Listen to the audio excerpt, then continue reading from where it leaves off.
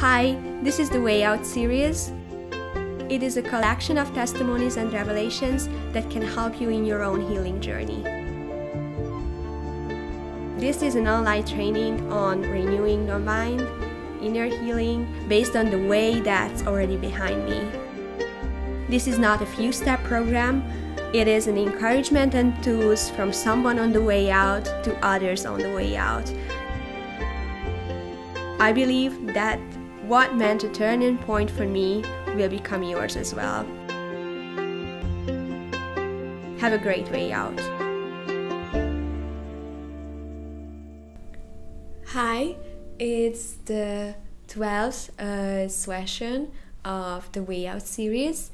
In the previous one, I was talking about the season when I got back to ministry after two years of retreat and how God just challenged my boundaries uh, with uh, leadership positions and new uh, areas of uh, ministry, and how He challenged the lies regarding myself, what I would never do, and things like that in my head.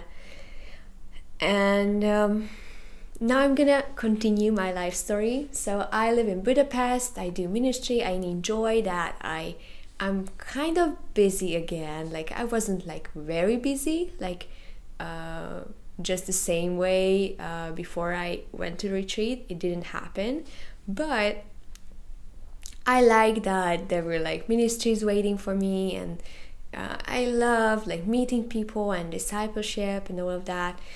Um, so I was having fun with it, and um, sometimes I felt like, oh, um, maybe I'm a bit busy again.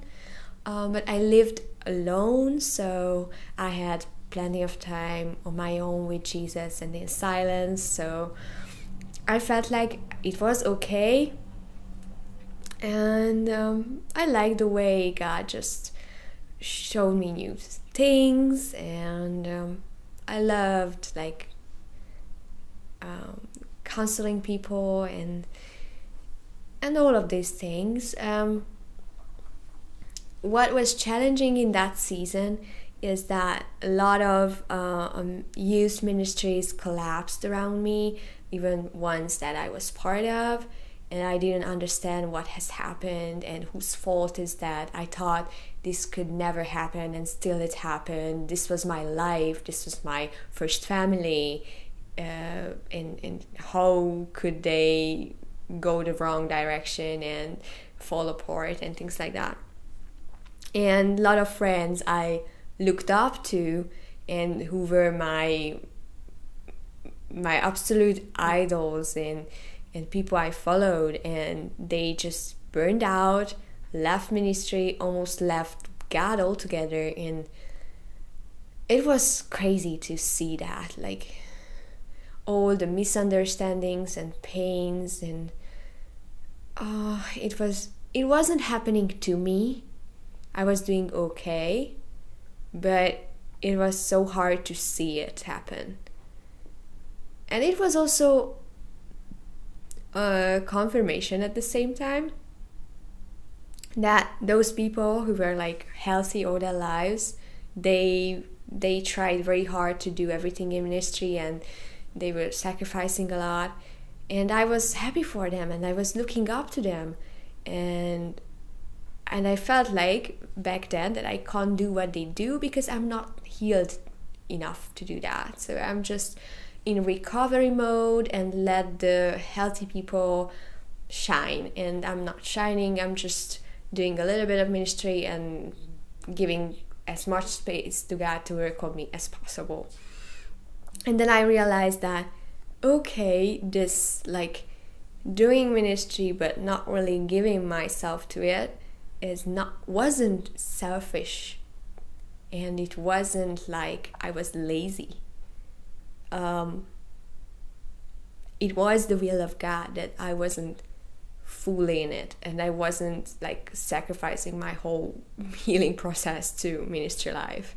And because even the people who were kind of healthy they collapsed in it and they they got burned out and it would like really it could have devastated me if I tried to do what they done. And still my heart hurt for them. Like they got burned out, some of them so much that it was the level of mental mental health issue and um, and, and depression and all of that. So uh, I was very sad for them because I was like, I've been there. Don't go there. I know know what it what it's like. Like just don't do that. um, so it was good to realize that God was leading me into like this doing ministry, but not really. Um, and it was from Him, and um, and that it was right that I I focused more on what God was doing in me than what God was doing through me, and and I, I many times I felt like uh, maybe I'm silly, maybe I'm lazy, maybe I'm selfish, but that's what I want to do. And when I saw all my ministry friends like experiencing burnout, I was like, oh, God was just simply protecting me, and it was all Him who convinced me that I shouldn't like give my all to uh, ministry work. Um, to be honest, uh, I reached the bottom line uh, just watching my ministry friends getting hurt and uh, and disappointed. So even though no one hurt me, I I was way too compassionate about their hurt, and I had to learn to like set boundaries about like okay this is what is going on with you and i'm okay and i don't need to take your hurt. Um, so it was hard to see them and it made me question everything like do i believe in the right god in the right gospel? Like it should work it should be working and it feels like it's failing who is wrong, what is wrong, what lie or what concept is wrong. Like it should all be just fine and it isn't. Um, am I the one who does it right because I'm feeling okay? Uh, and I shouldn't feel okay because I've always been like depressed and now I'm doing fine and all the healthy people are depressed. Like, what is what is going on? Um, so I went back to, to depression a little bit for other people, not for my own things. And it sounds crazy, but it did happen. Um, because you can go down to the, on the spiral of depression following your own thoughts, but you can do the same with others' thoughts and observing others' situation. So I was, it wasn't a long time uh, in 2019, but it was quite low. And I had to realize that okay, maybe the whole world is collapsing around me and it's gonna be alright for me. Like, I'm gonna have my world with God where only I and God exists, and it's okay if other people like do what they do my best ministry fans, the most spiritual guys, everyone, you can do what you do. My world is a different thing. And there is a godly complacency, I think, when you are just like, I can't help it. Like, if I can help, I help you, but I won't let this uh, negativity destroyed my life as just as much as it destroyed yours. So yeah, I just realized that other people's problem is not definitely mine. When I can help, it is mine, but when I can't, it's like no, it's not mine. Um, so it was a great lesson to learn. Um, and and there were times when I had like uh, this cry attacks when I couldn't stop crying, and I woke up in the in the night uh, thinking about like how much my heart aches for people, and I was like praying for them and all that, but still it was was something that I shouldn't have a lot uh, into my heart that much. Um, so when God convinced me that just be with Him, be with me, it's okay if everyone destroys their lives. We're gonna have a great life together. Um, and I had this, you know, this new sense of freedom and just hanging out with Jesus and and yeah, so a new passion for like experiencing and enjoying God. And then COVID hit. And the whole, the first reaction to COVID in my country was complete shutdown. So uh, later it was more easy. Now it's quite, quite okay. But the first reaction was that you were only allowed to go out of your home to buy food.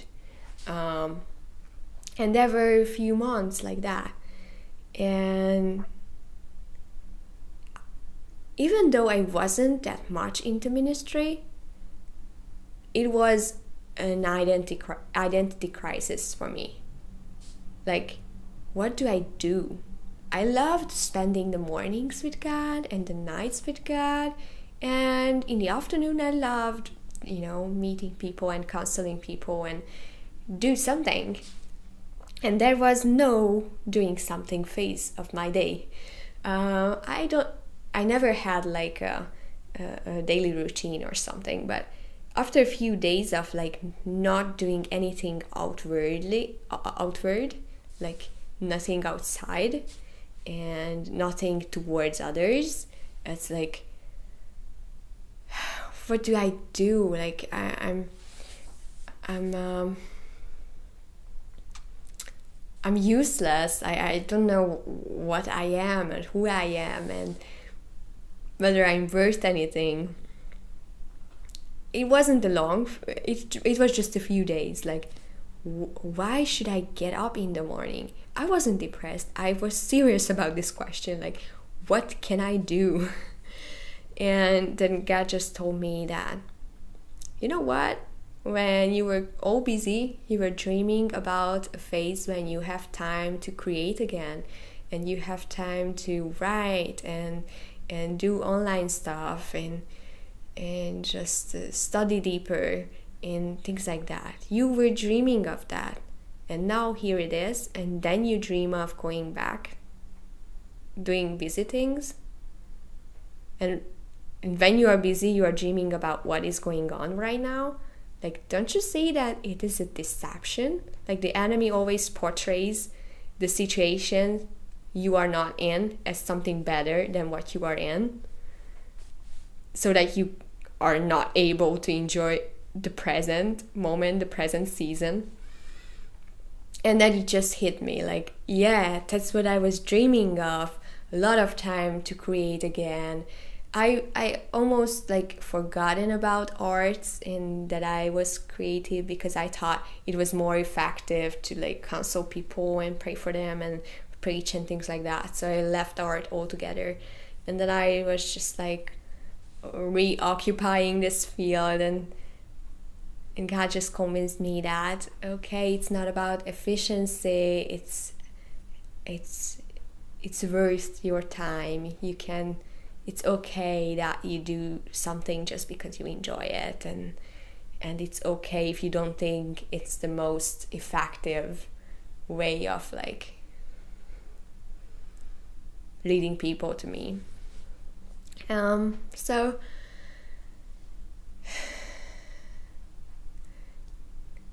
this time i was like creating a lot and i rediscovered how much i loved it and and that there was a, hidden part of me that was um, suppressed during the ministry years and so i was really enjoying it I spent a lot of time like with uh, with God, but in the afternoons I went out to the park, the only place you were allowed to go, uh, except for grocery stores. So I went to the park and just sat there, and I was just writing there or like spend time with God. This was my office and my living room, the park. And I had great times with God there. Like, it was like most productive time of my life. Like, I searched for all the long forgotten uh, poems and uh, short stories I wrote and posts and, and pictures of my paintings and I just started to post them. So I had a lot of fun with it. And that that was the time when I started to like date God. like I was literally planning out dates. Like going to a beautiful spot of the city just to be with God there. Uh, and it was a lot of fun because no one dared to go out of their homes. So I was like, you know, this is the time of my life. No one is at the tourist destinations. Everything is empty. I can be just there and enjoy God. So I had great times, and I still do that dating with God uh, thing. It, it just feels so good. Um, and this was the time when I started to like enjoy the the basic things like buying food and cooking something delicious, buying a new clothes, uh, buying stuff for my room. My room wasn't decorated at all in any sense. It was just a place with white walls. And because I was traveling, I didn't care. And then I was just like I tried to make it pretty and and I just started to like own my life and enjoy my life. Uh, because ministry made me feel like my life wasn't like really important at all. It was okay if I didn't enjoy something as long as it was effective and I thought that's how kingdom works. And god just showed me like oh now the way of my kingdom is that you love your life. Like i've come to give you life and life more abundantly it means that like even a better life than you think you could have. Mm. and it surely doesn't mean a less good life so because I, I spent most of my life in depression, it was a new experience to like waking up, enjoying the fact that I have a nice flat, enjoying the fact that I can make a hot chocolate, I can go for a walk, I can cook something very good. Like I never had time for those things. Or I never I could never take time to do them. Like really being present in them. And it was so good. Like i was like a little kid enjoying the most ridiculous things like cutting tomatoes like almost in ecstasy. Like that was the time when i was like i started to enjoy so silly things.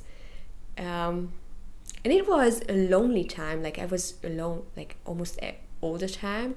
But i really had to learn how to have God as a company, like literally, like talking to Him in the morning, like like like to another person, and waking up to Him, like as if He was laying next to me.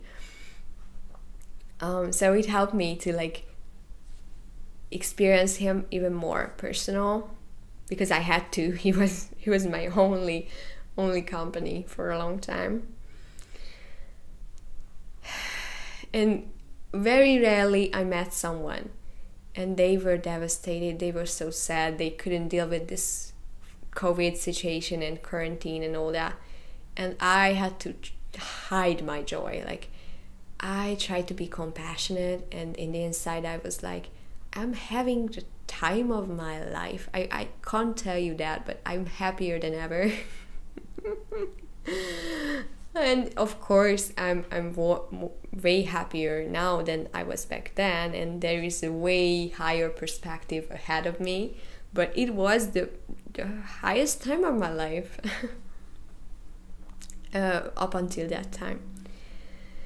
Um, so yeah, I was I was I was having a great time, and when this very strict uh, uh, season was over by the summer, and um, some of the rules were like um, eliminated, I was like, oh, I'm so sad. Like, I don't want my normal life back. I love this season. um,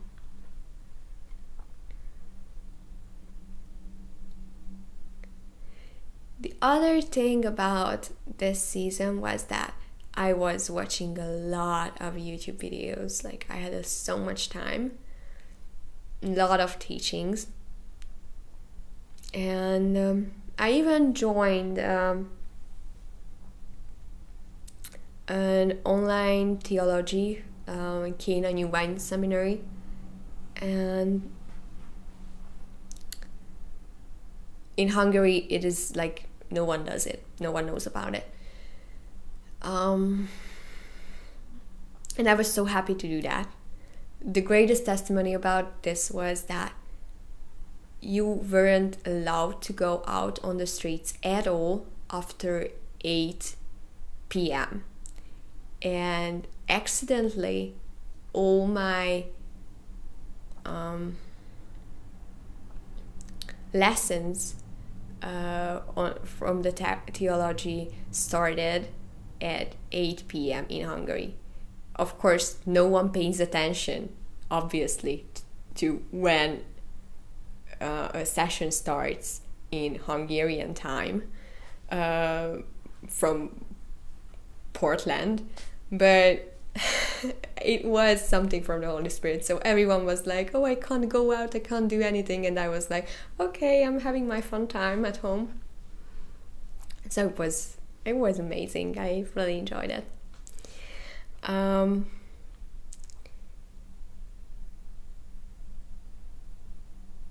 and I already had a season when all the things I believed about God and about the gospel had been challenged and flipped upside uh, upside down, and this was the second round. um, God was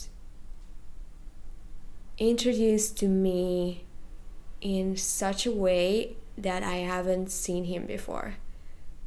I realized that what I thought God to be was more like Satan and and this fabrication of God in my head, made of theology and Bible verses and pieces of teachings, is nothing but an idol made in God's image and has nothing to do with Him. For a long time, I had these two gods one of them, this construct of Bible verses and teachings, who wasn't really good. Like he was good, but and he can he could get angry quite easily. So no one to be not someone to be trusted. And there was this other God I experienced every day, and he was always kind and always loving, and he was always next to me, and he was a fun guy to hang out hang out with and I knew I'm gonna stick to that what I experienced. And that other God in my head, I don't know what to do with it. And listening to this many teachings, I I realized that okay, this construct can be destroyed. It's not true at all. And actually, the God I experience and know to be unconditionally loving is the true one. And even the Bible verses support that one. Like, I can let the other construct and idol burn to the ground because the word of God will be still true because even the word of God supports the that God and confirms the God I, I experience and know and love. Um, so it was a and even comparing to this uh, good God I experienced, I felt like the God that is being shown to me is way much better. Like, I never thought that this was so good. And every time I discovered something of God's goodness, I felt so much better the next day. I felt like all the all the burdens of the world had been lifted off my shoulders. And the reason why I tell this is that mental health issues can be very much related to your view on God and how you see Him and your image of God and how you think His nature to be. So related. Like, and it's not like, it wasn't like, um,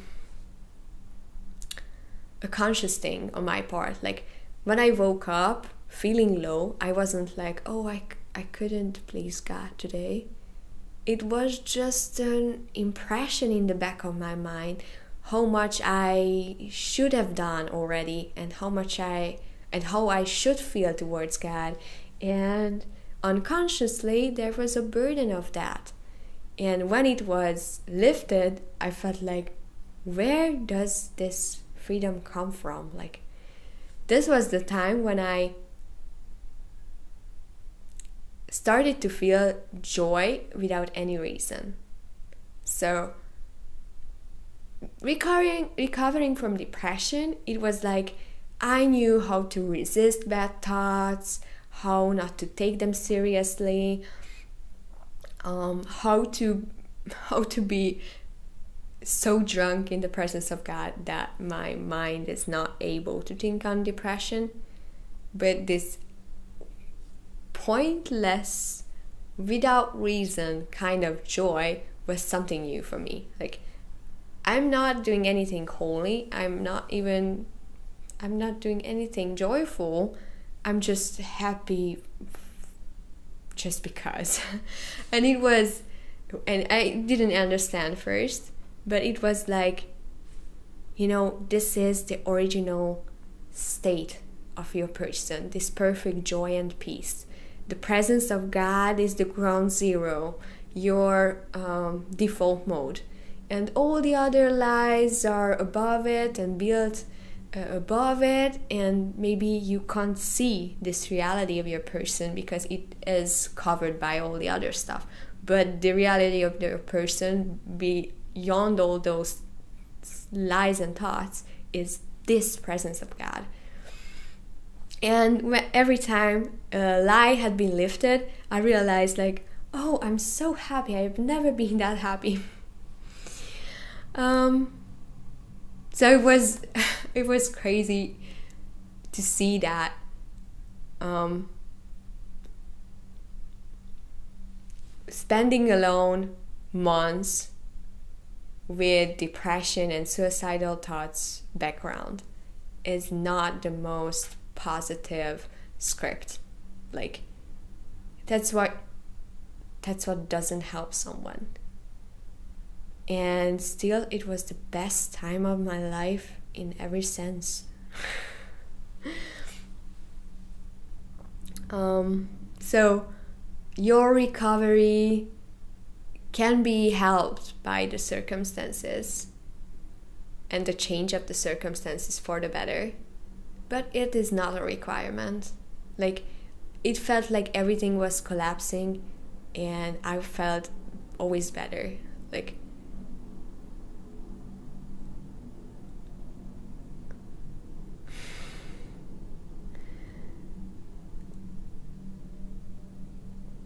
your healing and your well being is not dependent on your circumstances and they can go backwards and your happiness can go upwards and it can happen. And i know that god wants to like give us full life in every sense but even if it doesn't happen your your joy and happiness has is not related to it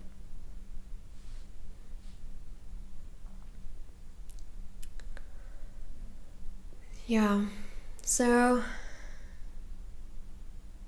this was the time when i felt that god is good like really really good and so unconditionally good that I can't mess up my life.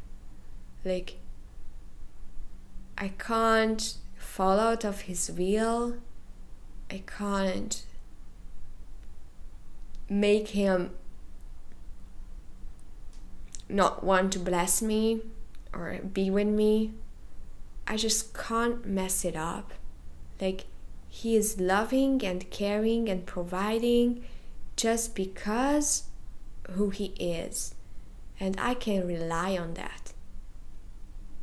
and that was the time when i started to like trust him for for anything like no one had money back then and i had no money before that like i was a full-time minister so i lived on like air or something i lived on what people gave me accidentally and it, I was doing okay.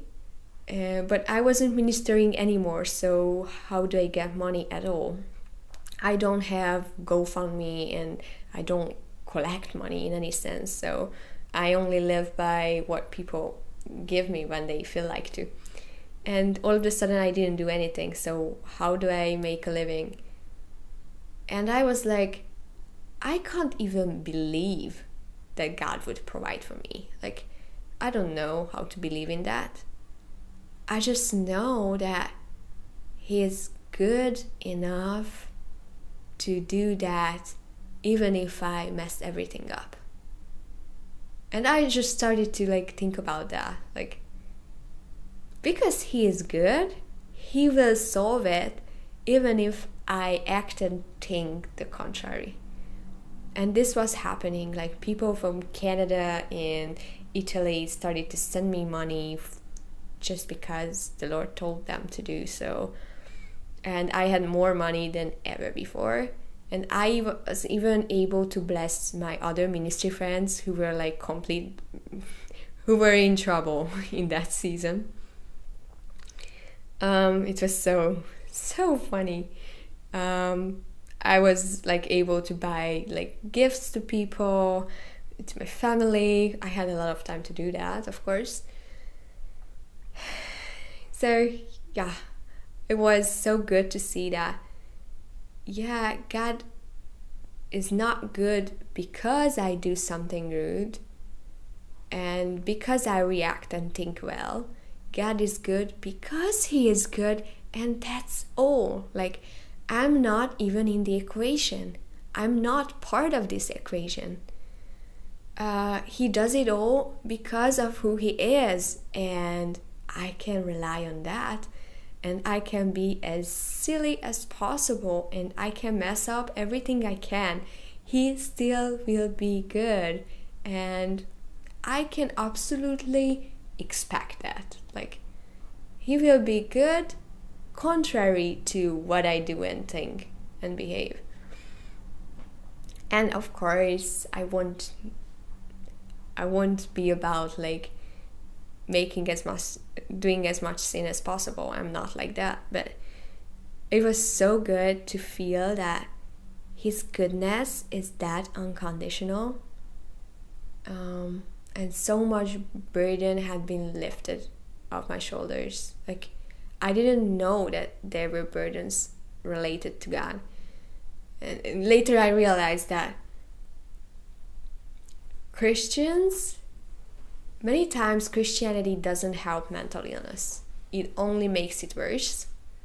Many cases. If we teach a, a, a, um, a conditional love and conditional gospel, it makes things worse because you need to care for your family and your life and your bills, and you even have this extra burden of being good enough for God to bless you and to heal you and to provide for you and all that.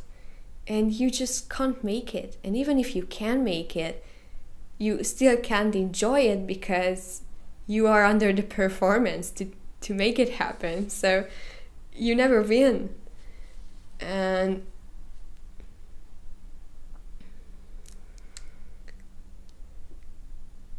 it was crazy to see how much more freedom was available for me and how much more joy when I just dropped many typical Christian stereotypes about how God blesses you and how God is to you towards you. Um, even a little piece of understanding of God's goodness made my life so much better I know it's not just about making your life so much better, but accidentally it causes that as well. Like, yeah. And many mental health issues can exactly, uh, can directly come from the way we teach God to be and the way we think God to be. Um, of course, he, if he just punishes you for things and sends you to hell if you don't behave and and withdraws his blessings and you fall out of his will and grace when you do this and that. It's a huge pressure. And of course many times it's not that extreme that it makes you go crazy. There are a lot of people like that.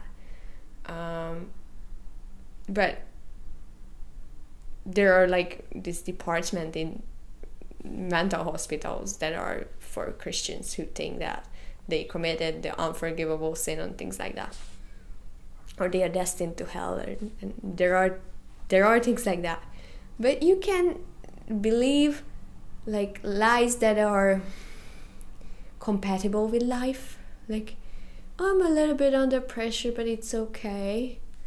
And when I understood this goodness of God, just a little bit of it. But when I had this new revelation, um, I started to understand why all my ministry friends got burned out. like, oh, thinking that you have to perform for God and be good enough and be effective enough and make make changes in the kingdom and all that make changes for the kingdom it's just like I couldn't have lived under this pressure for five minutes, and you have been ministering like that for five years. Like, you are amazing. Like, how could you do that? I, I couldn't have done that. and I also I felt sad. Like, if if I could only demonstrate in some way how good he is and how much you don't need to do anything to amaze him how much fun like ministry could be.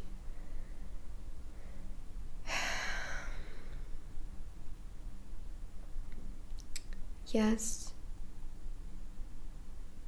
One of the things I, I learned is that there is no such a thing as an angrier stricter um, morose god behind Jesus' back that every now and then shows up to punish me. That was a big deal. And um, yeah, how much unconditional his goodness and love and providence is. Like there is there are these Christianese conditions. It is unconditional, but if you uh, open doors to the enemy, or if you make a sin, or um, if you don't follow the leading of the Holy Spirit, and that, this and that, then then you can get out of the grace. You can you can be um, punished for it or like when we are more grace minded we say that we won't be compatible with the blessings of God and we have all these ideas and we repackage it according to each theological stream but the basic concept is that you can make God less good than he is in case you do this and that. And just just this understanding of like I can't mess it up. And even if I do whatever, he will still give his presence and he will still provide for me and he will still do whatever just because he is good and his acts are only relying on his nature and never on my acts and and behavior i just yeah it just started to cause such a liberation in me i was challenged in the inside like when i started to like be a leader i was challenged from the outside i was I was being pushed into situations by God that were like challenging my lives and things like that. But now I was I was challenged like sitting in my chair at home. oh, God was just like, do you want this greater freedom? Then drop this God you used to believe in. Um, do you want to be completely free? Okay, this idol that you taught God to be, should be burned down to the ground. And it was hard at times because I had to give up everything I believed in. And it was joyful because every time I gave up some lie about God, I felt like my whole life changed for, changes for the better. There is a series of image of God. Um, one, two, three. Uh, this is where I share what I learned in this season, how much better I, I think God to be now, and what God has shifted in my head about His nature. Um, so maybe it can help you. Image of God. Um, uh, one, two, three.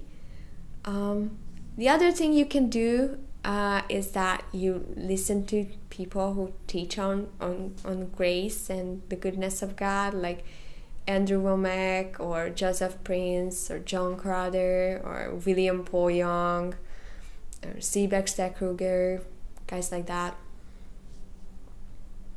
Rod Williams, Matt Spinks. So you can check check out people who are like who have a deep understanding on, on the nature of God. Um, because it has a mental health effect very much. Like many times we don't know why we feel pressure, why we are anxious, why we can't be as free as we want to be. And many times it's just something we believe God to be what He is not actually and um, and this rewriting of our image of God can happen when we are just with God and He just reveals Himself to us. Um, and it happened to me a lot. But it can happen that you allow to be open to teachings that seem crazy and too too too hyper grace and too edgy and you allow God to destroy the false image you have of Him in your head. And it's very sad. Uh, for many aspects, it is very sad, but it's a mental health series, so I'm gonna only talk about this aspect. One of the reasons that I didn't have the same burnout uh, as all of my ministry friends, almost all of them, uh, or the majority of them, is that God, by His grace, has introduced Himself to me and he showed me how good he actually is and how much I cannot mess it up. Can I cannot ruin my life? How can I how much I cannot fall out of his will? We are gonna have an exercise on that I think. Um, if you're interested check out the Image of God series. Uh, the links are uh, in the description below. Um, and uh, I wish that you start to see God in a in in such a good light, in a, such a real way that it would cause bondages and sadness and lies automatically um, fall down. And that it would cause joy bursting out of you for no particular reason just because you know how free you are and how much you cannot mess mess your life up. I'm excited for you and you can send me your testimonies and comments. Um, I'm excited for what is going to happen to you. God bless you. Thank you for watching this video. I hope it was a blessing for you. This course is completely free of charge. However, the production and editing has a cost and I wanted to produce this series in the best possible quality and make it available to everyone absolutely free on YouTube. So if you feel led to, please contribute with any amount to the production costs. All the donation options and the payment methods are available in the description.